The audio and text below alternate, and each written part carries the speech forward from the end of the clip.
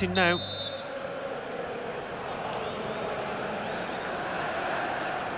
Kick off from Chelsea, we're underway. Here's the Chelsea lineup.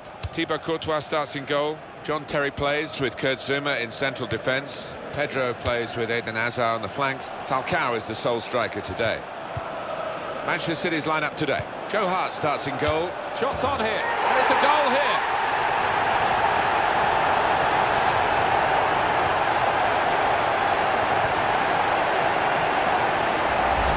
A goal from and there was a gap to the keeper's left, and he found that with real power